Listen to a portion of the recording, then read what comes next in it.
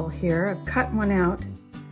Usually what I do is I put the name on a little dog tag. And so that's what we're gonna do. Nice thing about this board is that it lifts up very easily.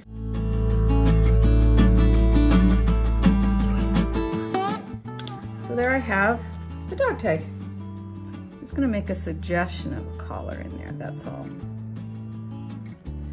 I think maybe, maybe we'll make it darker.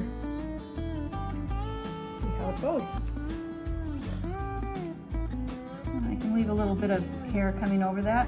So this little bit of hair is coming over it. We'll just, hopefully that'll work out.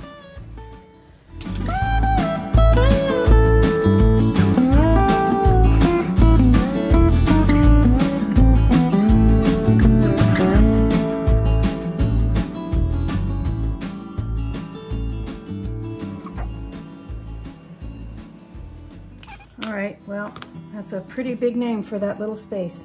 Let's see if we can make it work. I've got a real fine brush here.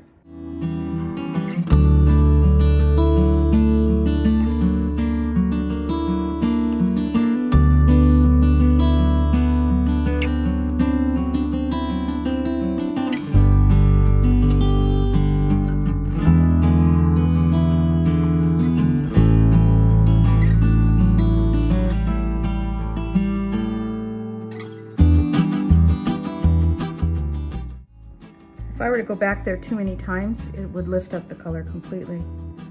That's a good and a bad thing.